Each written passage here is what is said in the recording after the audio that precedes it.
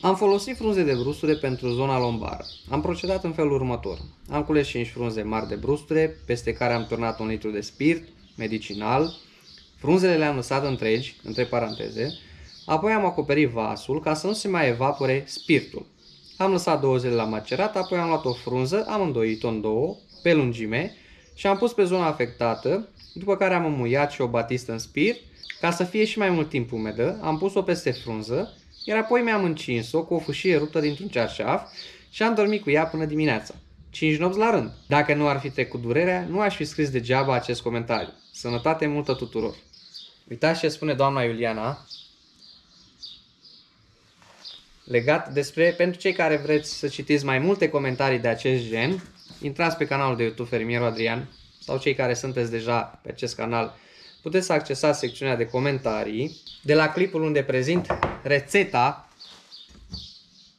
a acestei minunate și binecuvântate creme din frunza și rădăcina de brusture. Și foarte bine că eu v-am mai spus de atâtea ori în legătură cu această cremă și vă spun imediat și de ce am decis să mai fac un material legat de această cremă, deoarece zilele acestea am discutat cu o parte dintre dumneavoastră la telefon sau prin mesaje și foarte mulți v-ați procurat această cremă și m-ați întrebat cum trebuie folosită sau cum am folosit-o eu. Ei bine, înainte de a vă ține de vorbă, să zic așa, câteva minute, vreau să spun un singur lucru și poate pe această cale, dacă acest material o să fie mediatizat sau nu știu, o să ajungă la cât mai mulți oameni, să știți că eu nu am nimic cu nimeni, nu judec pe nimeni, fiecare în curtea lui sau în o grada sa, poate că e același lucru, face ce dorește, dar uh, am ceva de spus la adresa celor care mai promovează rețete, să zic așa, doar din auzite sau încearcă să transmite mai departe.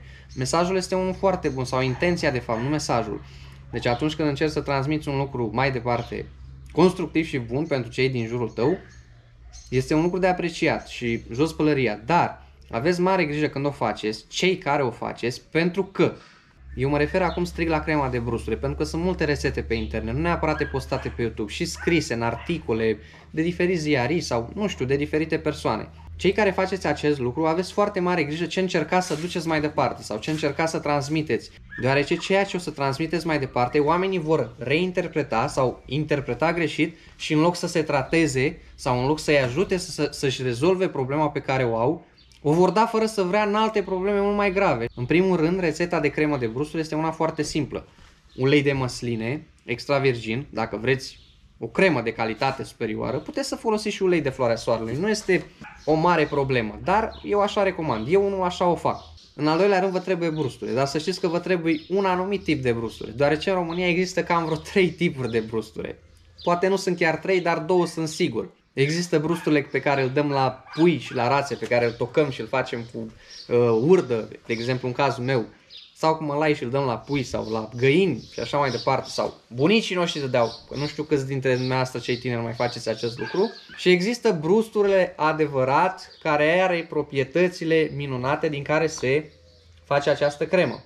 Altceva, niciodată un brusture care crește într-un loc poluat sau o plantă care crește într-un loc poluat nu o să aibă proprietatea unei plante care crește, de exemplu, cum e la mine aici, la poalele muntelui. Eu culeg acest brusture și la mine se găsește, peste tot. Acest an este un an problemă, din păcate un an secetos nu a ieșit.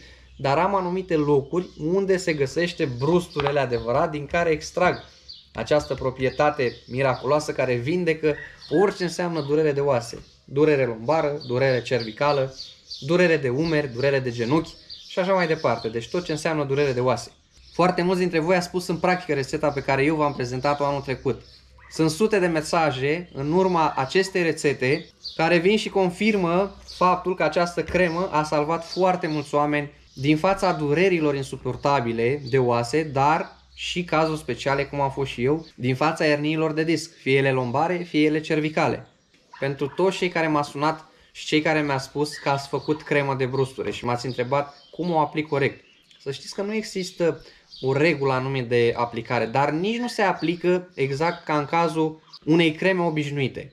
În momentul în care eu am decis să mă tratez cu așa ceva, eu la început am făcut și compresie cu, cu frunză de brusture timp de vreo 10 zile după care am trecut la crema de brusture. La mine perioada de tratament a fost destul de lungă. După cum v-am spus și în vlogul anterior, în primele luni nu a fost o mare diferență, dar după ușor, ușor a început să cunoască și am continuat să mă tratez timp de un an de zile.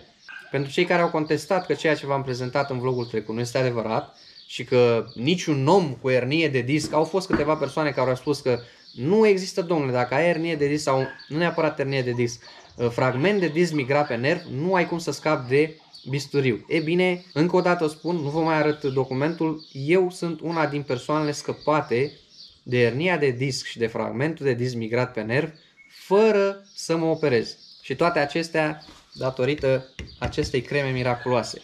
Cum am aplicat crema după ce am terminat cele 10 zile de uh, tratament cu frunză de brusture? Eu m-am dat dimineața și seara. Să știți că eu nu mă dădeam singur, mă dădea cineva, o altă persoană și în cazul nostru recomand la fel, pentru că una este masez singur pe spate, alta este maseze altcineva. Masajul îl recomand să fie între 15 și 20 de minute minim. 10, 15, 20 de minute. Masat extraordinar de bine. Este nevoie ca porii pielii să fie deschiși și ca această cremă să poată fi absorbită în totalitate în organism, ca ea să poată să-și facă treaba. Deci ca un mic secret, dacă vreți să spun așa, să răspund foarte multor întrebări din partea din dumneavoastră, cam acesta este secretul. Deci nu iei pur și simplu ca pe o cremă simplă, ai dat, ai plecat două minute și ai lăsat. Nu.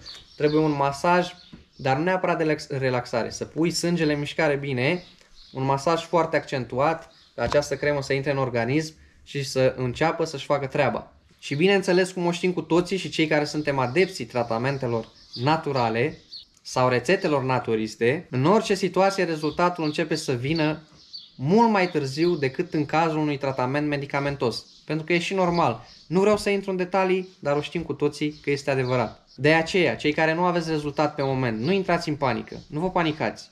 O să vină rezultatul, insistați. Și nu în ultimul rând să știți că așa cum am spus de fiecare dată, dacă nu aveți credință în Dumnezeu și dacă nu credeți în El, nimic nu este posibil. Fără Dumnezeu nu există nimic.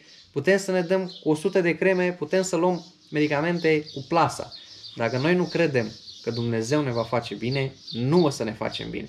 În afară de faptul că proprietatea din această cremă este minunată, să știți că, din punctul meu de vedere, credința este pe primul loc. Crezi, roagă-te la Dumnezeu și o să vezi că totul o să fie bine. Încep să fii mai bun, lasă răutatea din sufletul tău, eliberează-te și o să vezi că totul o să schimbe. Starea de sănătate și starea de spirit o să fie cu totul și cu totul alta. Poate o să-ți se pară absurd ceea ce spun acum, poate acest mesaj nu o să ajungă la foarte mulți oameni, dar și în cazul oamenilor unde acest mesaj o să ajungă, și o să auziți ceea ce spun eu acum pe final de vlog, în momentul în care o să aveți o problemă de sănătate foarte gravă, să vă aduceți aminte de ceea ce v-am spus eu. Încercați să faceți ceea ce v-am îndemnat eu și o să vedeți că am avut și am foarte mare dreptate. În curând urmează vlog din fermă, în curând vor urma vloguri de la munte, pentru că trebuie să mergem la munte să începem construcția stânei. Multă sănătate vă doresc, sănătate, Doamne ajută tuturor și toate cele bune. Gând la Dumnezeu că e cel mai important. Ne-am făcut stoc pentru iarnă.